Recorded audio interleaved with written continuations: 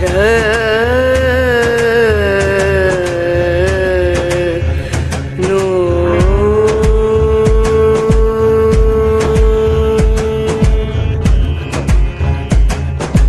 राधे, जय माता की भक्तों, आप सभी का स्वागत करती हूँ स्पिरिचुअल ज्ञान साधना में और आप सभी से अनुरोध करती हूँ कि स्पिरिचुअल ज्ञान साधना को सब्सक्राइब कर लीजिए और बेल आइकन को प्रेस कर दीजिए ताकि आपको नई नई वीडियोस का नोटिफिकेशन मिलता रहे। वैसे तो प्रदोष व्रत बहुत अधिक महत्वपूर्ण होता है, किंतु जब ये श्रावण मास में आता है और शनिवार के दिन आता है तो इसकी महत्वता और अधिक बढ़ जाती है। जय माता की राधे राधे हर हर महादेव। कैसे हैं आप सभी लोग? आशा करते हैं सभी लोग बहुत अच्छे होंगे। बताने के लिए कमेंट में जय माता की राधे राधे अवश्य ही लिखिएगा। तो भक्तों, आज की वीडियो में हम बात करेंगे श्रावण मास में आने वाले शुक्ल पक्ष के प्रदोष व्रत के विषय में, जो कि श्रावण मास का अंतिम प्रदोष व्रत कहलाएगा। हम जानेंगे आज की वीडियो में कि प्रदोष व्रत कब है उसकी डेट क्या है और प्रदोष पूजा का समय काल क्या रहेगा? कितने बजे से कितने बजे तक रहेगा? साथ ही पूजा की विधि जानेंगे और ये भी जानेंगे कि ऐसा कौन सा कार्य है जो श्रावण मास के इस प्रदोष व्रत में करने से हमें सम, सभी मनोकामनाओं की पूर्ति होती है। माँ लक्ष्मी की कृपा मिलती है। निसंतान दंपतियों को सम, संतान की प्राप्ति होती है। ऐसी बहुत सारी महत्वपूर्ण बातें आज की वीडियो में हम करने वाले हैं। तो आप सभी लोगों से अनुरोध करते हैं कि यदि आप लोग पहली बार चैनल पर आए हैं तो सब्सक्राइब कर लीजिए, बेल आइकन को प्रेस कर दीजिए ताकि आपको महत्वपूर्ण वीडियोज़ का नोटिफिकेशन समय पर मिलता रहे। तो भक्तों, चलिए प्रारंभ करते हैं आज की ये बहुत ही सुंदर और महत्वपूर्ण जानकारी से भरी हुई वीडियो। प्रदोष व्रत बहुत अधिक महत्वपूर्ण माना जाता है, जो कि महीने में दो बार शुक्ल पक्ष और कृष्ण पक्ष में आता है। शनिवार को पड़ने वाले प्रदोष व्रत को शनि प्रदोष व्रत कहा जाता है। प्रदोष व्रत का हमारे पुराणों में बहुत अधिक महत्व होता है। जिस प्रकार से भगवान विष्णु को समर्पित एकादशी व्रत का महत्व होता है, उसी प्रकार से भगवान शिव को समर्पित प्रदोष व्रत का महत्व शास्त्रों में बताया गया है। पौराणिक मान्यताओं के अनुसार शनि प्रदोष व्रत का अत्यधिक महत्व है।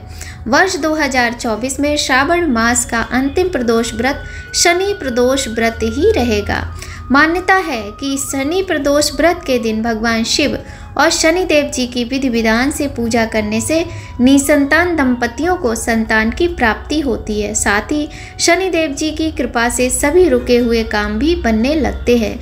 शनि की साढ़े साथी या शनि की ढैया से परेशान लोगों को विशेष रूप से शनि प्रदोष व्रत करने की सलाह दी जाती है। कहा जाता है कि जो भक्त इस व्रत को पूरी श्रद्धा से करते हैं, उन्हें सभी दुखों से मुक्ति मिलती है और उनके घर में सुख समृद्धि और धन का आगमन होता है।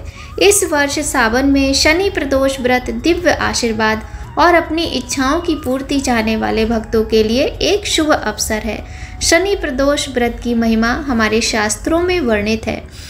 तो चलिए, ये तो रहा कि शनि प्रदोष व्रत का क्या महत्व है। अब हम जान लेते हैं कि प्रदोष व्रत सावन के महीने में जो अंतिम प्रदोष व्रत है, वो कौन सी डेट को है? सावन का अंतिम प्रदोष व्रत श्रावण शुक्ल त्रयोदशी तिथि को है। इस बार का व्रत साल का दूसरा शनि प्रदोष व्रत होगा। सावन के अंतिम प्रदोष व्रत के पूजा का मुहूर्त क्या है? इस विषय में बात कर लेते हैं। दो घंटे से ज़्यादा का समय आपको मिलने वाला है।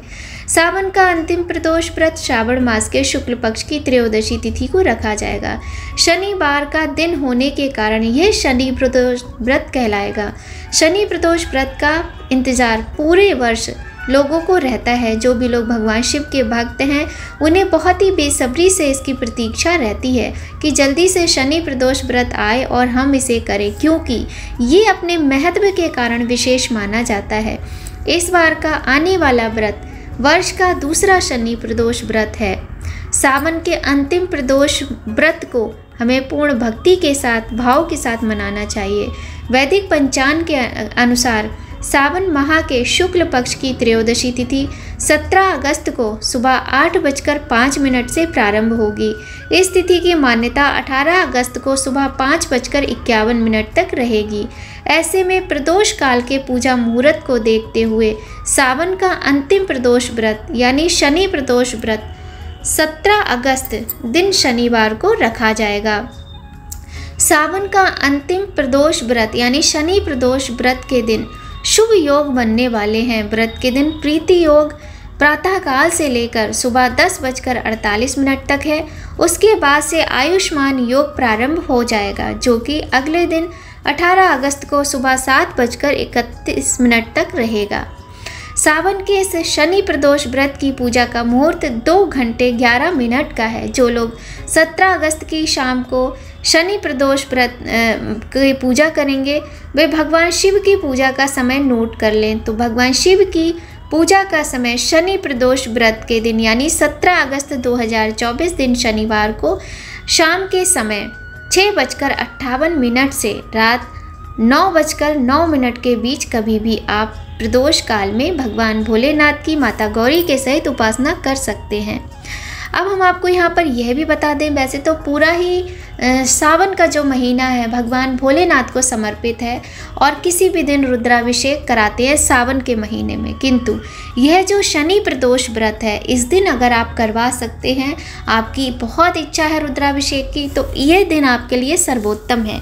सावन के महीने में शनि प्रदोष व्रत के दिन रुद्राभिषेक कराने से आपकी समस्त मनोकामनाएँ पूर्ण होती हैं। भगवान शिव माता गौरी की प्रसन्नता प्राप्त होती है। यह सावन का शनि प्रदोष व्रत है।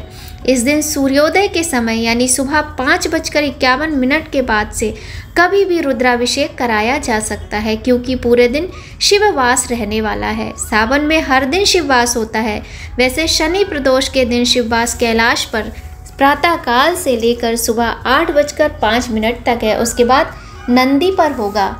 और जो कि अगले दिन पाँच बजकर इक्यावन मिनट सुबह तक रहेगा। शनि प्रदोष व्रत में काल सर्प पूजा का भी बहुत अधिक महत्व होता है। यदि आपकी कुंडली में किसी भी प्रकार का काल सर्प दोष है, किसी भी भाव में बैठा हुआ है तो आप इस शनि प्रदोष में काल सर्प की पूजा अवश्य ही कराएँ। आपको समस्त कष्टों से मुक्ति मिलेगी। शनि प्रदोष व्रत वाले दिन आप काल सर्प की पूजा अवश्य ही करवाएँ। काल सर्प दोष से शिव जी की पूजा राहु काल में कराते हैं। उस दिन राहु काल का समय नौ बजकर आठ मिनट से सुबह दस बजकर सैंतालीस मिनट सुबह तक रहेगा। इस बीच में आप काल सर्प दोष की पूजा करा सकते हैं।